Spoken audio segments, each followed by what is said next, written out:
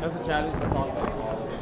So we have Suhas here, running delegate from Loudoun County, Virginia. So can you brief a little bit about your journey and like you know, what you plan to do? You know. Yeah, absolutely. Uh, so I'm uh, currently an attorney, and I worked in the Obama White House as a technology advisor, and now I'm running in the 87th district in Virginia, Loudoun County, to be delegate.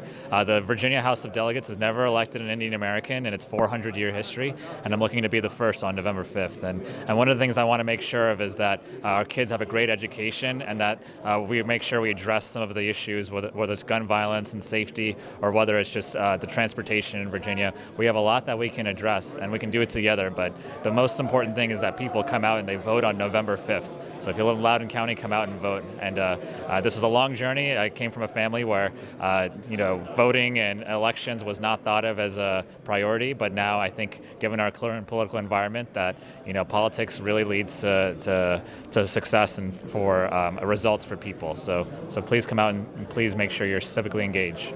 Great. Thank you so much. Thanks a lot, Suhas. Thank you.